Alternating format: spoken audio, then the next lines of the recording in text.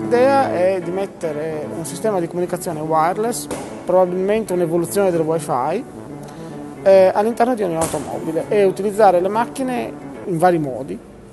Vabbè, quella più ovvia è dare internet ai loro occupanti. Quella meno ovvia è che in questo modo le automobili diventano sostanzialmente dei sensori nella città e possono dare informazioni dallo stato del traffico allo stato dell'inquinamento ha altre informazioni, cioè c'è solo la fantasia che può limitare che cosa può succedere in dieci anni da adesso. Eh, l'altra cosa importante secondo me è la prima applicazione sarà addirittura la sicurezza. Lei si immagini che lei è nella nebbia sulla 4, visto che siamo in Italia, e la macchina davanti a lei le dice guarda sono 35 metri davanti a te, quindi stai un po' attento.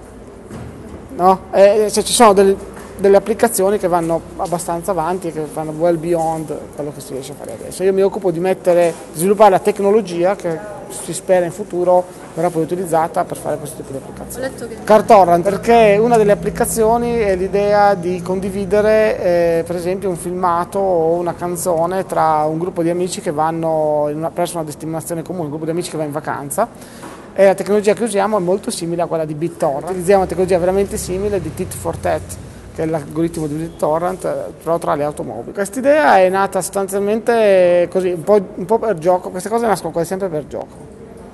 Era il periodo in cui BitTorrent andava per la maggiore, in cui uno poteva scaricare più o meno di tutto e noi abbiamo pensato, beh, se io volessi farlo mentre vado a Las Vegas, allora abbiamo pensato all'idea che ogni macchina prende un pezzetto diverso mentre passa magari sotto un access point e non si ferma e poi mentre vado a Las Vegas me li scambio e alla fine tutte hanno quello che serve.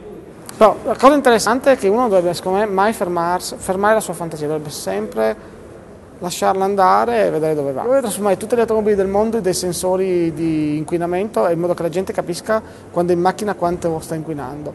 Perché secondo me è uno dei motivi per cui non riusciamo a cambiare stile di vita, non riusciamo a capire l'importanza del ridurre quanto emettiamo, quanto consumiamo, è perché non ce ne rendiamo conto. Allora io fare, voglio fare un sistema per cui man mano che le macchine vanno in giro raccolgono i dati sull'inquinamento, capiscono quant'è l'emissione e danno delle informazioni su come migliorare queste emissioni.